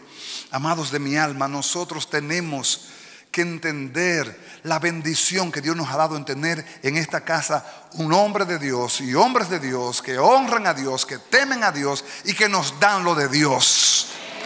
Obedecerles a ellos no es sectarizar. Obedecerles a ellos no es idolatrar. Obedecerles a ellos es, es, literalmente sujetarme a la voluntad revelada de Dios. Dios me ha revelado a través del hombre o la mujer que Dios usó como para darme el consejo de Dios y de tal manera yo debo valorarlo, amado. Retén el consejo, no lo dejes porque el consejo es tu vida. Que tu, que, tu, que tu apreciación del consejo no sea una imposición, sino que sea un deleite, gloria a Dios porque Dios me amonestó, porque Dios me corrigió, porque Dios me confrontó, porque Dios me dio su corazón. No lo hago con, con otra actitud, sino con gozo. Cuando recibo de parte de Dios la instrucción, con gozo. Recibo la consolación, con gozo. Recibo la confrontación, también con gozo. ¿Por qué? Porque el pastor está velando por mi alma para que, su, para que el propósito eterno se cumpla en mí y no puedo desconsiderarlo. Lamentablemente muchos pastores sufrimos de soledad, sufrimos de decepción, sufrimos muchas veces hasta de tristeza, porque uno quisiera darle, amados, uno quisiera metérsela adentro a la gente. Y sabemos que no podemos porque es la obra del Espíritu Santo. Pero muchas veces el desvelo pastoral es tal que nos deteriora la salud. Nos deteriora la salud porque estamos tratando todos los días de procurar dar lo mejor. Entonces, obedecer al hombre de Dios, al, instrumento de Dios, no solamente es para, para, el bienestar de Él, no, es que obedeciéndolo allí estoy obedeciendo a lo establecido por Dios. Y si obedezco lo establecido por Dios, estoy agradando a Dios. Y si estoy agradando a Dios, Dios estará contento y la bendición estará sobre mí también. ¿Está hablándole a alguien en esta hora? Es necesario que podamos discernir la verdad de la magnitud que representa sujetarse a los pastores. Hermano de mi alma, con todo el respeto indistintamente de que Dios te haya ungido con, con, dones, con talentos, con ministerios, Dios es un Dios de orden. Y Él no lo violenta a sí mismo. Dios estableció un orden sacerdotal. Y esa bendición desciende sobre la cabeza. Y esa cabeza ungida me dará, me impartirá, me aconsejará, me direccionará. Y yo que estoy bajo, estoy sujeto a esa autoridad, seré beneficiado de su bendición. Si mi pastor está plenamente lleno de gracia, de revelación, de consejo, de bondad, de sabiduría, de autoridad, de unción, yo recibo. Porque de lo que Dios le da a él, yo recibo. Entonces yo debo valorar esa unción, valorar esa gracia y sujetarme a ella, porque en la sujeción a ella Dios establece su orden y su reino en medio nuestro. No podemos andar nosotros como gente que desconoce el mandamiento. Yo conozco el mandamiento ya. Si no lo conociera, bueno, yo aludiera y dijera, bueno, yo no lo sabía, pero ya usted lo sabe. Hay una realidad que no podemos obviar. Yo no puedo andar como una persona que no tiene pastor. Yo tengo pastor, tengo una autoridad. No me puedo mover en dirección a obras ministeriales. Miren, aún fuera algo como me voy a tomar unos días libre, mi autoridad delegada sea el diácono, sea el anciano o sea el pastor, yo debo informarlo. Pastor, this is New York. Sí, pero this is the kingdom of God.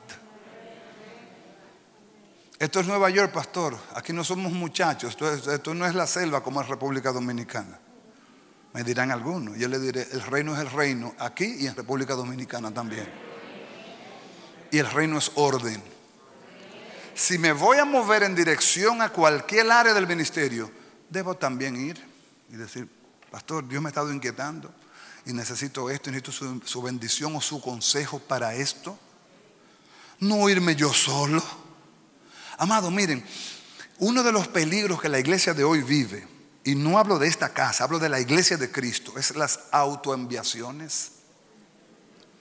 ¿Qué significa una autoenviación? Una gente que se envía a sí mismo.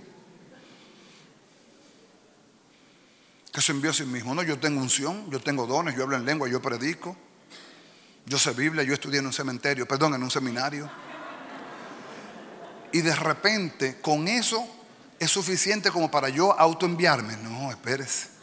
El orden me dice a mí que yo tengo un pastor a quien Dios estableció sobre mí para darme el consejo, para impartirme la bendición y para enviarme y delegarme, como dice Romanos capítulo 10.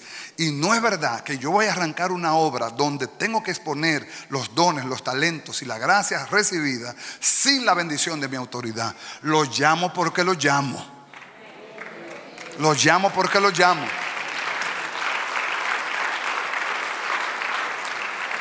Porque ya el entendido soy yo. Ya yo entendí. Ya yo entendí que no puedo andar, como decimos en Dominicana, y esto yo creo que esto todos hispanos lo conocen aquí, como chivo sin ley. Como una gente que no tiene a quien darle cuenta. No, espérese, yo tengo a quien darle cuenta. Y tengo a quien rendirle un informe también. Y tengo a quien decirle cómo fueron las cosas y cómo salieron las cosas. Por lo tanto, no me muevo así. Mi pastor debe saberlo.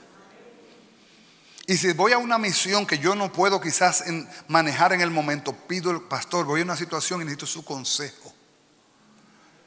Mis amados, los hombres de Dios, puestos por Dios, aprobados por Dios, son los hombres que tenemos que consultar.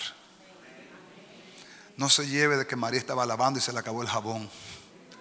Busque los hombres de Dios, aprobados por Dios, con testimonios de Dios, con gracia de Dios, pida el consejo, pida la oración, pida la impartición, porque si lo hace, no fracasará jamás. No fracasará. ¿Por qué hoy muchos les, les va en cierto modo mal? Aunque yo creo que todo el que esté haciendo la obra de Dios, en algo Dios es glorificado. Pero hay muchas personas que se van a destiempo, que se van fuera de tiempo, que se van en desorden y el mismo Dios de orden dice, que quisiera bendecirte, pero que hay un principio mío que no, que no se está aplicando aquí. Y si no, si no empezamos por el, por el principio, que es orden, no puedo bendecir. ¿Estoy hablándolo en español? Cualquiera puede tener un llamado, cualquiera puede tener dones, fuegos, ministerios dentro, pero no ha tenido la certeza de poderse acercar a su, a su pastor y decirle, pastor, necesito hablar con usted. En mi corazón arde esto. El pastor con la madurez y la sabiduría que Dios le ha dado le dirá. si es el tiempo, si hay que esperar, si es prudente o si llegó la hora donde el pastor dice, te bendigo en el nombre de Jesús. Tiene la bendición. Ve, el Señor está contigo. Amado, no es igual. No es igual. Salir así por así, sin que, sin que nadie sepa, como si yo fuera un espía secreto. Porque aún Moisés mandó espías, pero lo mandó Moisés. ¿Y qué hicieron los espías cuando regresaron? Dieron el informe al que lo envió. Le dijeron al siervo, mira, eh, la tierra es buena, hay gigantes, eh, hay oposición. Y los dos que pudieron ver más allá dijeron, bueno, es verdad, la tierra es buena y hay gigantes, pero como Dios dijo que esa tierra es de nosotros, nos lo comeremos como pan. Pudieron rendir el informe nosotros literalmente tenemos una gran bendición de tener hombre, un hombre de Dios, con la capacidad de Dios, con la gracia de Dios, para pedirle un consejo. Perdónenme, yo lo hago. Yo no sé usted, pero yo lo hago. Yo lo hago. Cuando a mí se me tranca el juego, pastoralmente hablando, yo llamo a mi pastor. Pastor, necesito hablar con usted. Ajá, dime pastor, está pasando esto, esto, esto, esto y esto y esto. ¿Qué usted sugiere que podemos hacer en esto? Entonces, bueno, mira, según esto, esto, esto y esto y esto. Oh, mira, yo no había entendido así. Gracias, pastor. Bien. El pastor se fue de viaje. Pero antes del pastor irse de viaje, yo lo llamé y le dije, pastor, yo estoy aquí como Jacob. Usted no se va si usted no me bendice a mí primero. Tiene que bendecirme a mí primero.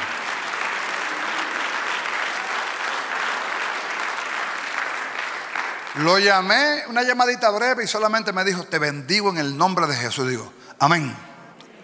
Puedo subir ese púlpito con la bendición de la autoridad. Pero ¿cómo voy a atreverme a venir, amado, a salir a una misión? A salir a una encomienda, porque ando en una misión. Eso a mí, eso a mí me pone la barriga de toda manera. Cuando yo veo gente que yo ando en una misión. Y el pastor Radamés lo sabe. No, porque una misión secreta. James Bond. Amado, ¿qué misión secreta ni misión secreta? No. Es que nosotros no podemos andar en secreto si somos un cuerpo en orden, una iglesia que se levanta hermosa como la luna, resplandeciente como el sol, poderosa como un ejército en orden tenemos que andar sujetos. Y en esa sujeción hay bendición. Dígale a alguien, en la sujeción hay bendición. Yo tengo que terminar aquí, parar aquí y pedirle a Dios que con toda libertad, todo lo que estamos aquí, que de alguna manera o de otra dijimos al principio, yo quiero obedecer, que ahora usted diga, yo quiero vivir eso. Porque no solamente yo, ah, yo quiero obedecer.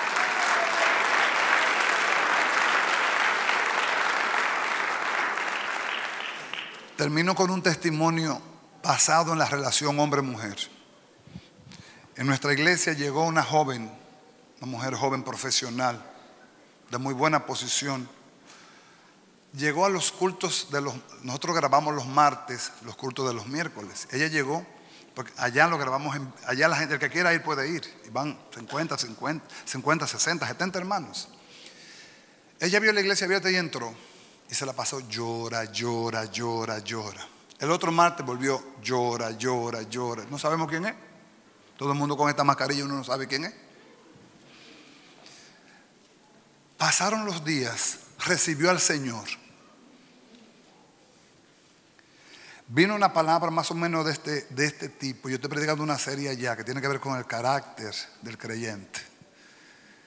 Y de repente la palabra Dios nos tenía que dar. Joven, bonita, profesional, pero con una situación matrimonial un poco incómoda. Fue y llamó a su marido y le dijo, mi amor, perdóname. Yo no me estaba sujetando a ti.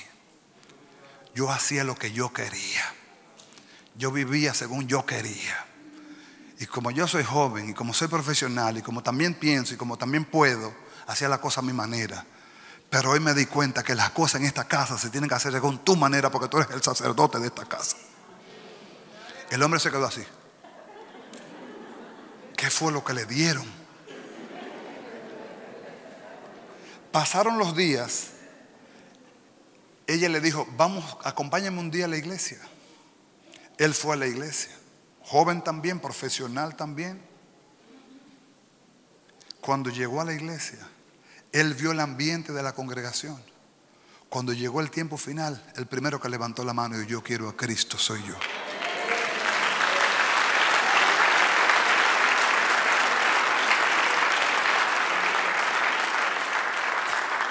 El poder de un testimonio, hermano. Tenemos que empezar a vivir esto en la casa, con los hijos, en el trabajo y en la iglesia empezar a vivir esto. Porque la obediencia le facilita a Dios cumplir las cosas. Porque es necesario que nuestra obediencia no sea un compromiso, sino que sea un deleite. Que sea un deleite. Me delegaron el parqueo, un deleite para mí, estoy sirviendo en el parqueo. Me delegaron los baños, un deleite para mí, estoy sirviendo a los santos en los baños. Estoy en, el ministerio del altar, es un deleite para mí. Pero si no estoy en ninguno y estoy ahí sentado recibiendo la palabra que me están sirviendo, amado de mi alma, comiendo de lo bueno, de lo eterno, de lo puro, de lo santo, debe ser un deleite también. Creo yo. Me deleito en la palabra, me deleito en la bondad y en la verdad de Dios. Así que yo voy a salir de este lugar para, para vivir este mensaje. Así que mujeres,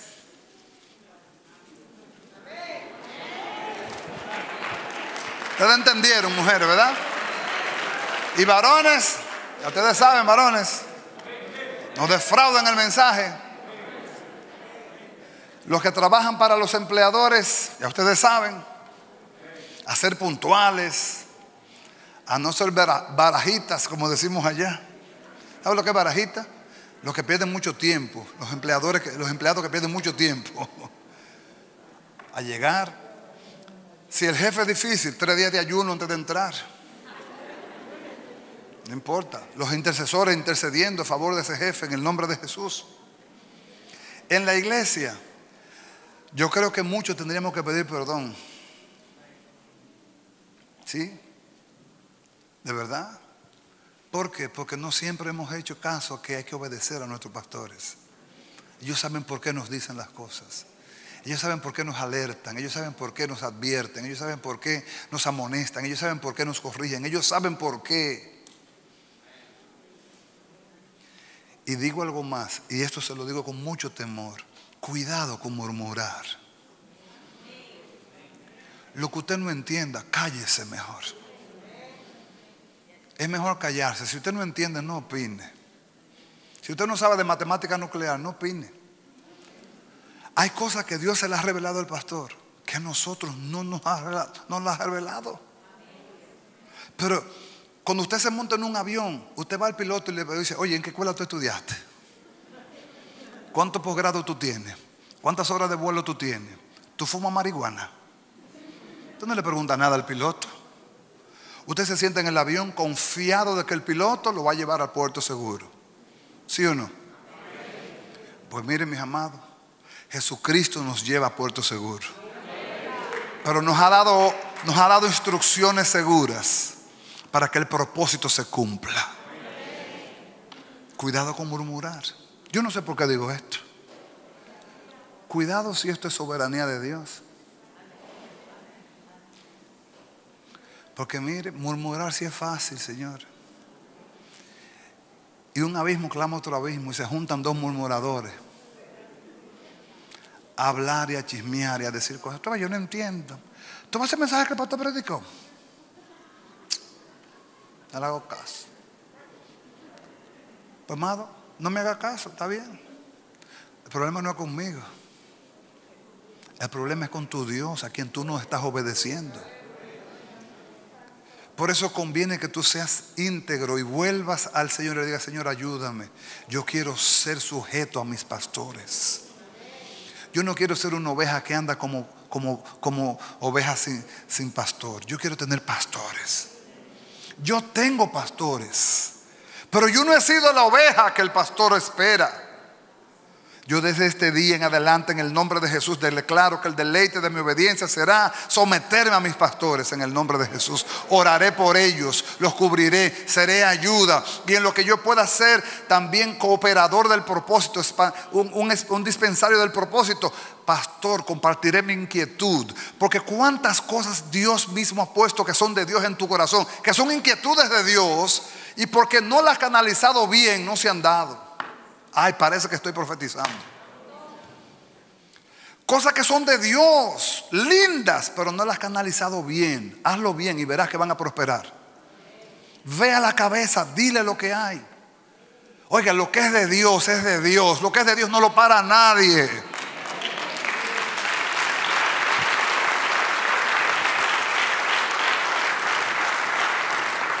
Pero para que sea evidente que es de Dios, tiene que hacerse al estilo de Dios y Dios vive sus principios. Póngase de pie en el nombre del Señor. Diga conmigo, ayúdame Señor.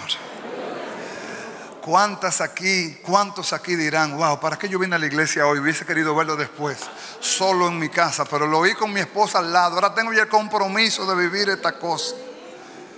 Y las mujeres diciendo, ahora tengo yo el compromiso de sujetarme a este hombre. Y los hijos diciendo, ahora tengo yo el compromiso de que cuando me mandan a lavar la basura, a botar la basura, tengo que botarla y con gozo. Estoy mirando a los jóvenes que están en primera fila. Héctor no me está mirando con buena cara, pero no importa, yo lo amo como quiera. Héctor, baja la basura. No, con alegría, con alegría de corazón. Amén. Alabanza, puede subir. Mis amados del Bronx, me hacen falta los hermanos del Bronx. Yo pudiera quedarme para el, para el 20, sería una bendición estar ahí, ver, Hay hermanos del Bronx, tengo más de un año que no los veo. Les envío un abrazo, un saludo a los hermanos del Bronx, a todos ellos allá, en el nombre del Señor. Amén. ¿Qué podemos nosotros cantar para sellar este tiempo? ¿Qué podemos nosotros proclamar? Isabel, para sellar este tiempo. Una oración de fe, sí, la vamos a hacer.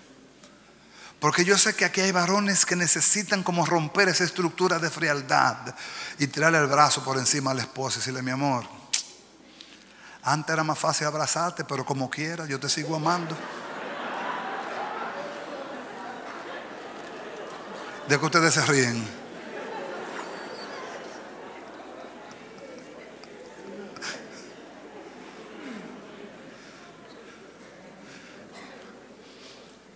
Amén. ¿Qué cantamos? Bueno, ustedes son los que cantan. Yo voy a orar por ustedes. Levanten sus manos ahí en el nombre del Señor. Yo no sé quién dirá, yo necesito ayuda para vivir esta palabra. Y yo sé quién me va a ayudar. Se llama Espíritu Santo. Espíritu Santo, ayúdame. Ayúdame Espíritu Santo. Yo quiero ser el esposo que tú quieres que yo sea. Yo quiero ser el empleado que tú quieres que yo sea. Yo quiero ser el hijo que tú quieres que yo sea. Pero yo quiero ser la oveja. La oveja que tú has determinado que yo sea. Esa oveja que se somete. Esa oveja que se deja guiar. Que se deja corregir. Que se deja confrontar. Esa oveja que se deja pastorear. No caminaré más como una oveja rebelde. Perdóname, Señor, perdóname. Porque cuantas veces lo hice, lo hacía en desconocimiento, pero ahora yo conozco, Señor, tu, tu voluntad revelada. Tú quieres que yo me sujete, Señor. Tú no me quieres a mí andando para arriba y para abajo sin sentido. Quieres que yo sea enfocado. Tú me has dado directrices, tú me has dado liderazgo, tú me has dado siervos que me guíen, pastores que, que me apacienten con sabiduría y con inteligencia. Padre, en el nombre de Jesús, empieza una obra gloriosa en esta, en esta, en esta hora. Mis hermanos que están en el Bronx, que están en televisión, que están en radio, Señor, en el nombre de Jesús, oro por ellos, Señor, en el nombre de Jesús. Y como tú eres un Dios de orden, empieza en el orden que nos diste esta mañana. Señor, con los hombres, que seamos hombres amorosos con nuestras esposas, respetuosos. Que seamos hombres, Señor, que cuidemos a estas mujeres como vasos frágiles. Señor, con las mujeres, que sean mujeres sabias, sujetas a sus maridos. Dios mío, que sean ayudas idóneas. Dios mío, con los hijos. Dios mío, con los empleados. Dios mío, con los empleadores. Pero Dios mío, en la iglesia. Oh Señor, en la iglesia. Danos, Señor, por favor, sujeción a nuestros pastores.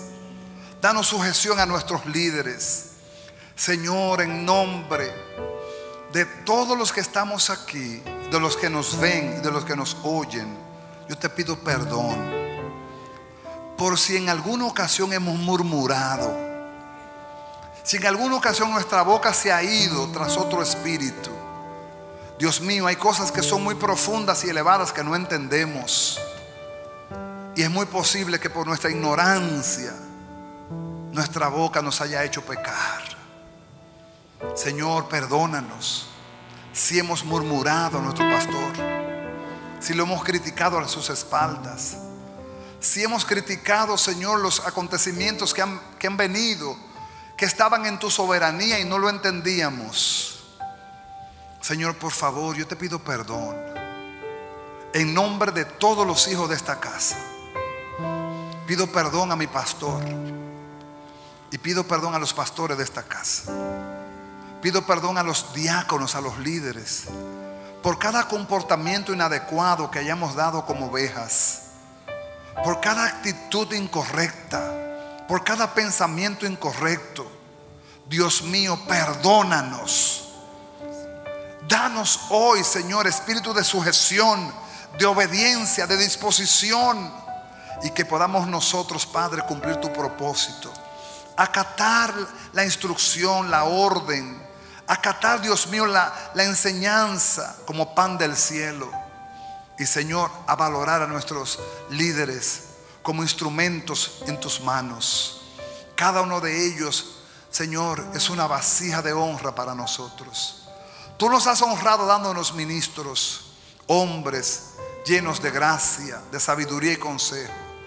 Somos una iglesia que podemos decir que comemos de tu grosura porque comemos tu palabra revelada. Dios mío, en el nombre de Jesús, los que están en radio, televisión, redes, puedan también revisar sus corazones y ver dónde podemos aplicar la obediencia, no como un rito, sino como un acto deleitoso. Me deleito en obedecerte.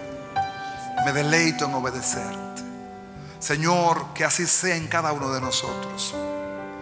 Rompe hoy toda muralla Trae el gozo, Señor. Trae gozo en esta hora a los matrimonios. Trae gozo a los hijos, trae gozo a los padres, trae gozo a los empleadores. Trae gozo a la iglesia.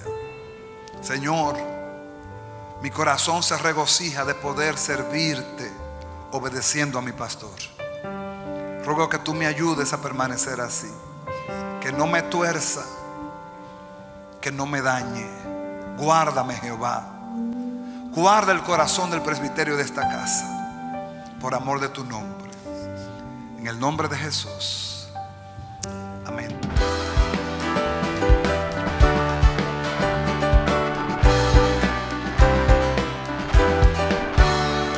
Ha sido su programa Voz de Restauración.